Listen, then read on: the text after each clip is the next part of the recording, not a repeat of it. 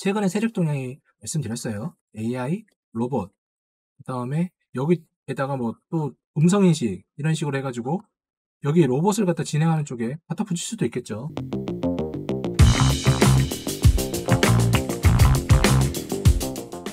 안녕하세요. 주식 후견인 문견우입니다. 네, 얼마 전에 이 리노스라는 회사가 이제 폴라리스 그룹에 이제 인수가 되었어요. 인수가 되면서 진행이 되었는데 역시나 이걸로 이용해서 어떤 이제 이슈를 만들려고 하는 거겠죠. 그 이슈에 대해서 한번 알아보도록 하겠습니다.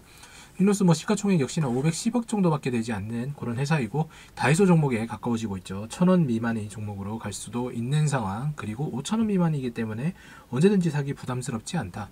매출액 보시면 매출액 꾸준하지만 적자 폭이 이어지면서 한계 기업으로 가고 있고 최근에 좀 좋아지긴 했어요. 좋아지긴 했지만 이거는 크게 의미가 없다. 왜냐하면은 재무 자체가 조금 불투명하기 때문이죠. 그리고 BPS도 그렇게 높은 편이 아니다. 보시면 뭐 최대 주주로 상장회사인 오디텍과 그 외의 회사들이 있긴 하고 보유 지분량이 한 30% 정도 되기 때문에 어느 정도 괜찮지 않느냐라고 생각할 수 있겠지만 70%의 유통 주식 수에도 불구하고 새로운 투자자가 들어오지 않았다는 것은 크게 회사 자체가 매력적이지 않다는 거겠죠. 그래서 요 폴라리스 그룹이 갑자기 이런 식으로 3,059원에 장외 매수를 하면서 들어오기 시작합니다. 기존에 있던 최대 주주와 최대 주주 변경 계약을 하고 진행이 되는 거죠. 오디텍과 TS는 2017년도에 이런 식으로 장외 매수를 해서 대략적으로 3,900원대에 매수를 하게 돼요. 그런데 어쨌거나 이 오디텍과 TS는 손해를 보는 건 아니에요. 왜냐하면 기존에 있었던 회사에다가 이제 투입을 하면서 물량 자체는 비슷해졌기 때문에 인수했던 가격은 한 420억대는 비슷하게 가져간다. 다만 기간 이익에 대한 부분은 보상받지 못했다는 게 되는 거겠죠. 어쨌거나 최대 주주가 바뀌자마자 전원권 행사를 밀어놨던 이제 주식들이 이제 그 전환이 되기 시작해요. 841원에 15억 5천, 뭐 6억 5천 이 정도밖에 안 되지만 어쨌든 뭐 저가에서 상당히 전환을 하고 있다라는 거 아실 수가 있고요. 이 회사들은 대부분 이렇게 보시면은 뭐 자문회사, 사모펀드 뭐 이런 쪽에서 진행이 되는 건데 어쨌든 여기서 차익을 좀 보기는 해야 되겠죠. 유상증자도 진행을 했습니다. 유상증자 대상자를 보면은 폴라리스 오너, 세원, 오피스 여기 되어 있죠. 변경 예정 최대 주주의 특수관계인 이렇게 해가지고 같이 들어와서 이제 그 유상증자도 진행을 하고 있고요. 3자 배정이니까 당연히 아까 프리미엄 줬던 것보다는 훨씬 더 싸게 줬겠죠. 리노스의 사업의 내용을 보면 조금 특이한 부분이 많습니다. IT 사업 부분도 지운, 진행을 하고 있고요. FNC 사업 부분도 진행을 하고 있어요. 키플링 이스트팩이라는 이 패션 가방 쪽 있잖아요. 가방 쪽을 갖다가 이 리노스라는 회사가 진행을 하고 있네요. 그리고 생활 잡화 뭐 이런 것도 진행을 하고 파워보이스라고 해서 음성인식 및 화자인식 소프트웨어 개발 등 이렇게 하는 겁니다. 이것도 전체적으로 봤을 때는 뭐 아무런 연관성 자체가 없잖아요. 연관성이 없는 기업을 갖다가 회사가 계속 이어나가기 위해서 그러니까 한계 기업에서 벗어나기 위해서 새로운 사업을 갖다가 계속 이어서 진입을 시키는 거죠. 이런 회사들이 전형적인 우회 상장이라고 제가 항상 말씀을 드렸어요. 자, 매출액 이렇게 보시면은 실제로 ICT 사업에서는 손실이 나고 있고 그 가방, 이스트팩, 키플링 요거에서만 수익이 크게 나는 모습을 볼 수가 있다.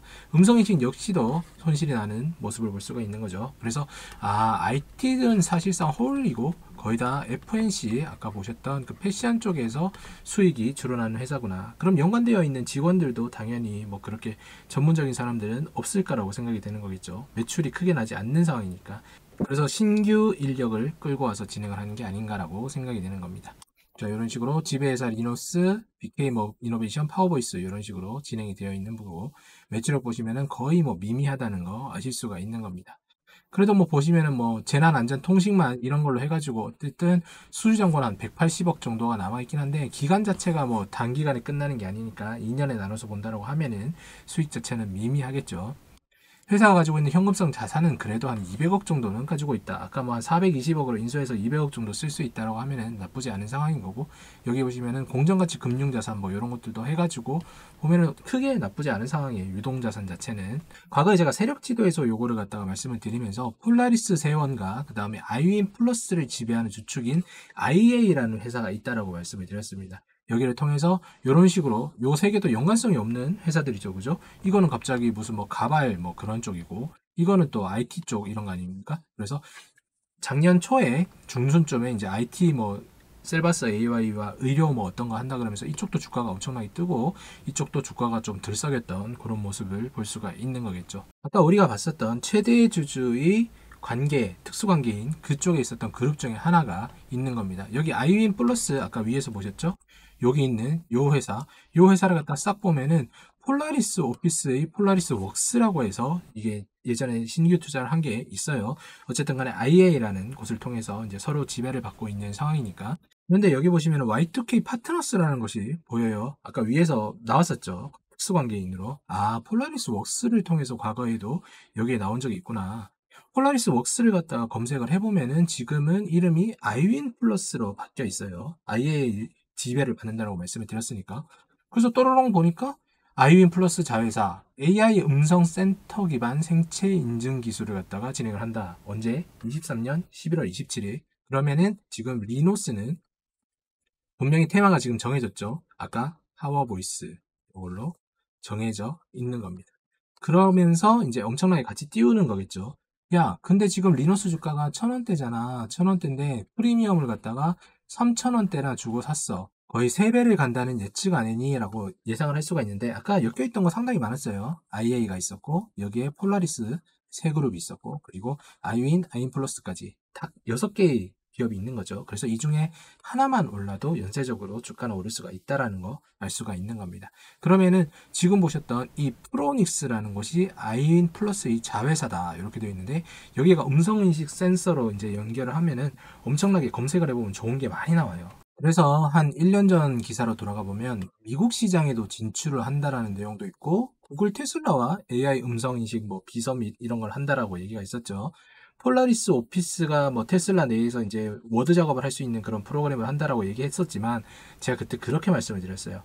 굳이 마이크로소프트와 뭐 그다음에 뭐 아래아 한글이나 뭐 이런 것들이 점유하고 있는 이 시장에서 폴라리스 오피스를 쓰는 곳이 얼마나 있을까라는 의견 하나와 그 다음에 거기에 대해서 나중에 만약에 활용화가 됐다고 했을 때 로열티 지불에 대해서는 어떻게 대응을 할 것인가의 의문을 봤었는데 역시나 주가만 들썩이고 말았던 그런 상황이었죠. 요 프로닉스도 똑같은 겁니다. 오늘자 프로닉스 아이윈 플러스에서 기사 나온 거 보면은 아모레와 면발광 마이크로 LED 마스크 독점 공급 계약을 한다라고 되어 있잖아요. 이런 식으로 했을 때 충분히 테마는 준비가 되었고 이제 AI 쪽으로 한번 집중을 하지 않나라는 생각이 드는 겁니다. 최근에 세력 동향이 말씀드렸어요. AI, 로봇, 그 다음에 여기에다가 뭐 또 음성인식 이런 식으로 해가지고 여기 로봇을 갖다 진행하는 쪽에 갖다 붙일 수도 있겠죠. 그러면 회사들 자체도 같이 주가가 오르는 그런 효과를 볼 수가 있으니까요. 뭐 장난 아닙니다. 역시나 얘들 막 여러 가지 어떤 테마를 갖다 미리 준비하고 깔아놓고 하나씩 터트리면서 주가 흔드는 거는 대단한 것 같아요. 여기에 불법적인 건 하나도 없는 거 여러분들 아셔야 됩니다. 어쨌거나 세력이라는 거는 나쁜 쪽으로만 쓰는 게 아니고 좋은 쪽으로 쓸 수가 있는 거고 물론 여기서 지칭하는 게 좋다라는 건 아니고요. 여러분들이 알아서 잘 판단을 해보시기 바랍니다. 오늘도 구글 멤버십을 가입해 주신 유저님 감사드리고요. 그 다음에 EW님 업그레이드 감사드립니다. 그 구글 멤버십을 가입을 하시면은 매달 한 종목의 공유 종목을 전달해 드리고 있죠. 삼겹살 한 줄 가격으로 여러분들 수익과 그 다음에 장마감 시향 등등의 지식들을 가져가 보시기 바랍니다. 차트 한번 보도록 할게요.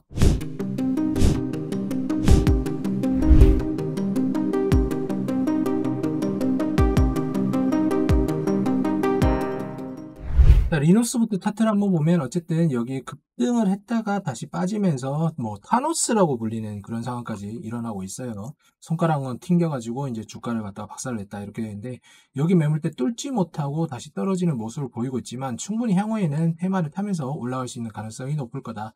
왜냐 이렇게 여기 이제 박스권을 갖다 한번 try 했었기 때문에 요거 한번 넘기면 다음 거 넘기기는 어렵지가 않겠죠. 그리고 준비되어 있는 테마 자체가 하나의 기업이 아니라 여러 가지 기업이 엮여서 올라갈 수 있다는 거 여러분들에게 아까 세력 지도를 통해서 말씀을 드렸었다. 그러면은 지금 리노스를 갖다가 아까도 말씀드렸지만 프리미엄을 3,000원을 줬고 지금 주가 자체가 1,000원 미만에서 움직였기 때문에 3배를 줬는 데는 이유가 있지 않겠느냐. 이 회사를 올린다기보다는 제가 아까도 말씀드렸죠.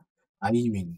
아이윈 보시면 여기 바닥을 기고 있는 이런 모습 보이시죠? 여기 올해 초에 이렇게 그 AI 관련해 가지고 그 폴라리스랑 이렇게 뜨니까 올라갔던 모습을 보이고 다시 한번 올라가기만 한다면 이거 물량 장난 없을 거고요. 그 다음에 아이윈 플러스. 아이윈 플러스 여기도 이런 식으로 등락이 나왔었던 부분 여기 아래에 하면서 모아놨겠죠. 모아놓고 올라왔을 때 어느 정도 턴다고 하면은 분명히 좋은 모습을 보일 거다.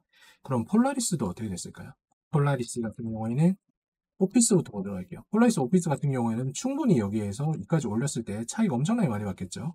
여기에서 봤었던 자금으로 지금 뭐 반토막이 나긴 했지만 다시 한번 어떤 이슈를 끌어올린다고 하면은 이것부터 제일 먼저 반응이 나온다. 그 다음에 폴라리스 세원. 폴라리스 세원 역시도 이렇게 나왔었던 요 거래량 자체가 이번 테마에서는 크게 올라갈 수 있는 가능성이 높다. 왜냐하면 리노스 자체를 갖다가 지분을 간접적으로 지분하는 게 폴라리스 세원이니까.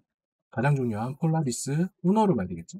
폴라리스 우노 같은 경우에는 이렇게 왔었던 거 한번 쉬었으니까 이제 이 회사가 뜰 차례다. 여기에서부터 급격하게 올라가게 된다라고 얘기하면은 프리미엄 두 배 준 건 아무것도 아니다. 결국에는 뭐 두 배 이상의 어떠한 효과를 충분히 낼 수가 있는 상황이 되겠죠. 왜냐? 다른 회사들이 6개 정도가 있으니까 가장 중요했던 이 회사를 간접적으로 지배하는 큰 그룹 IA. IA 같은 경우는 여기도 보세요. IA. 거의 이제 이거는 동전주죠, 동전주.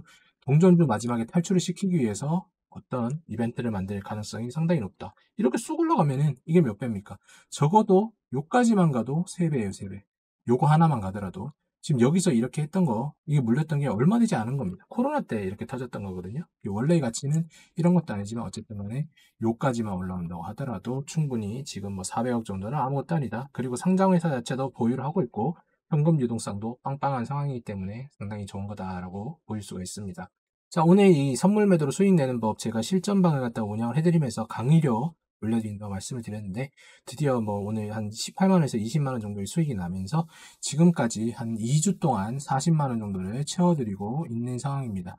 요거 이제 지금 뭐 잠깐 이제 시장 자체가 그렇기 때문에 좀 애매한 상황이지만 충분히 강의료 이상의 자금을 만들어드리고 종료할 수 있는 게 이번 달 안으로 되지 않을까라고 생각이 되고 있어요. 그러니까 여러분들 이거는 데이터를 통해서 여러분들이 습득할 수 있는 걸 배우는 거지 어떤 세력에 대한 정보를 배우는 게 아닙니다. 평생 써먹을 수 있는 거예요. 적절한 금액으로 적정한 레버리지 써서 여러분들이 꾸준하게 가져갈 수 있는 부업 같은 투자를 한번 해보시기 바랍니다. 똑같은 강의 비싸게 주고 듣지 마시고 선착순으로 어서 어서 빨리 들어오셔가지고 동일한 기간에 강의료도 돌려받고 지식도 쌓아가 보시기 바랍니다. 오늘도 시청해주셔서 너무 감사드리고 이런 세력주들 했다가 손절당하지 마세요. 손절하는 금액은 100만원이 아니라 1000만원, 5천만원, 억까지 가는 사람은 수두룩 빽빽으로 받고 언제 어느 순간 정지당해도 이상하지 않다는 거 다시 한번 말씀드리고 싶네요. 저는 다음 종목으로 찾아뵙도록 하겠습니다.